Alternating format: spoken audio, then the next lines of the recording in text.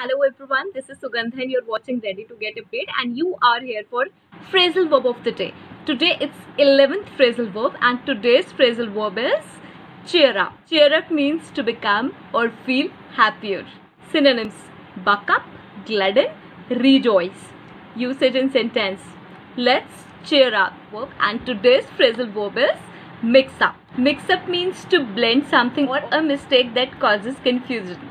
Synonyms mess, misunderstanding, confuse.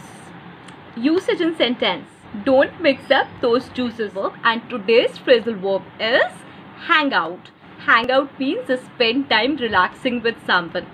Synonyms mingle, socialize, knock around.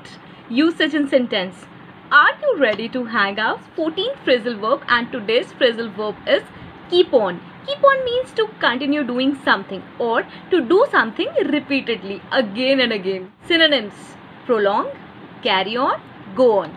Usage in sentence keep on going, never give up verb and today's phrasal verb is look after. Look after means taking care of. To take care of someone or something. Synonyms protect, guard, take charge of. Usage in sentence it makes sense to look after yourself. Phrasal verb and today's phrasal verb is run away. Run away means leave unexpectedly. Escape from a place or somebody. Synonyms flee, take off, run off. Usage in sentence don't let your skills run away with you. Phrasal verb and today's phrasal verb is warm up. Warm up means preparing yourself for physical activity.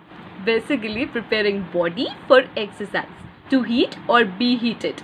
Synonyms rehearse, practice, loosen up.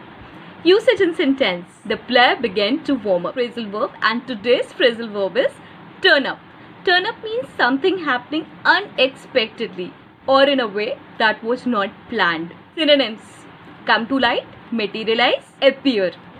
Usage in sentence I think he will turn up. Phrasal verb and today's phrasal verb is check-in. Check-in is arrive or register at a hotel or airport or any other place. Now it is the process whereby people announce their arrival at some place.